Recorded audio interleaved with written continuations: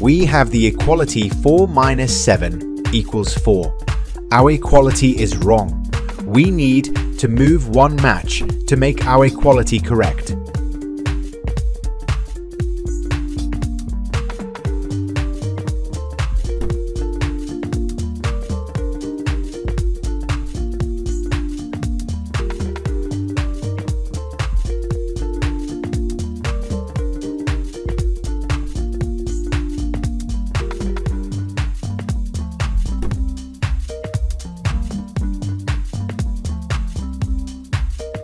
We need to move one match to make our equality correct.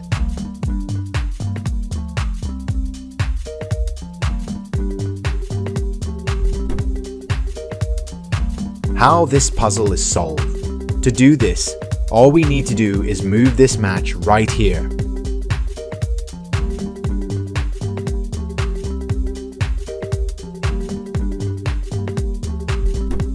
Now, when we check the condition, 11 minus 7 is 4.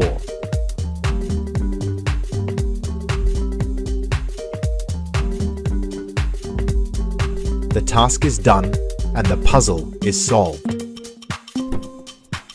Subscribe to our channel